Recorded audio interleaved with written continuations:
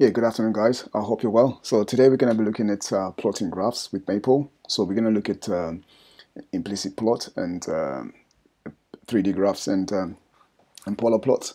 Okay, cool. So let me start off by importing the package. So with then plot. Cool.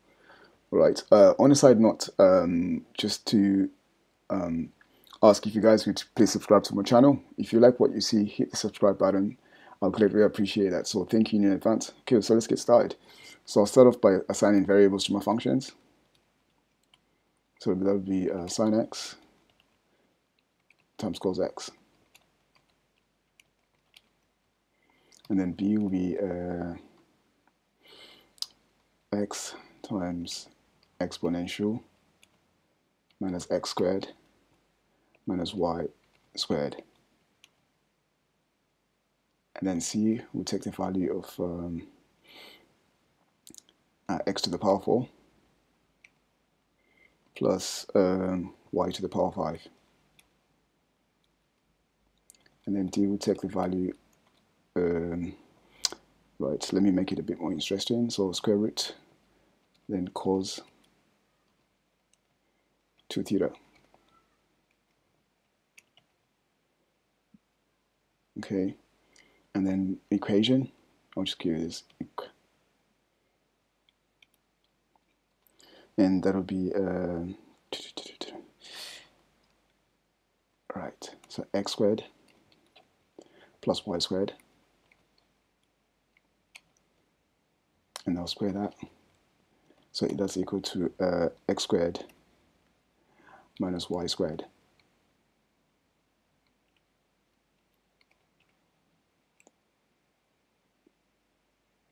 okay right. And then um, I've got a function as well I'll just call it f.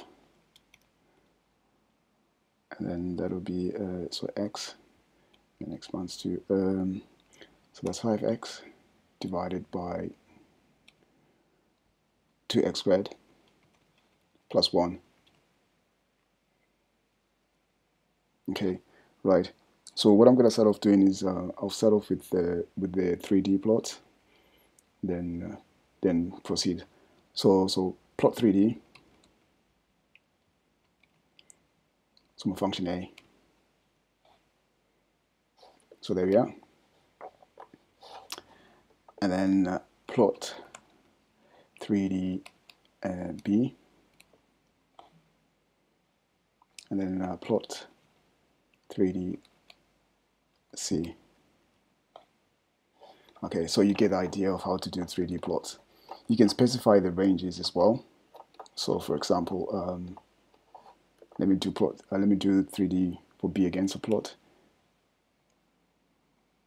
3D, um, my function, uh, let me say A, right, then X equals to minus 5 to 5, and then Y takes the ranges of minus 5 to 5 as well.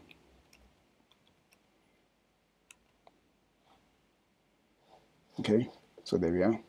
So you can specify the range. Okay cool.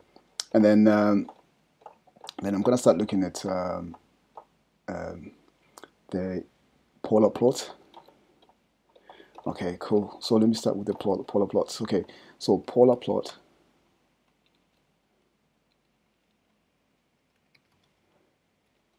uh, A. So there we are. And then uh, polar plot D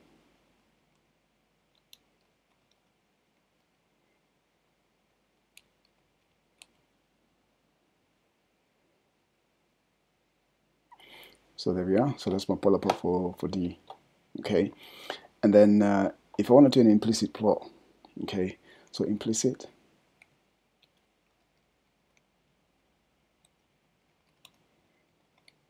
So I'll use the equation. Then my x would take 2 minus 5. Oh, let's, let's say minus 1 to 1. And then y takes the same range as well. Minus 1 to 1. Okay. So that's um, that's our implicit plot for the equation. And um, then I also want to look at another 3D graph as well, another 3D plot. I quite like it. So, so plot 3D, then that's x squared plus y squared. So there we are. Cool. Okay, cool. And then um, one more function. So plot, just a normal plot anyway. Uh, f of x. And then x range equals to minus 8 to 8. So there we are. Then I can also just simplify the function as well, just to show you something. Simplify. Then uh, f, substitute x with 1, 5 thirds. Okay, cool.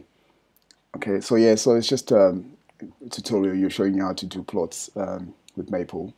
Um, I can do, I'll do another video. And okay, thank you guys, and thanks for watching. And uh, have a good day. Have a good day. Cool. Bye bye.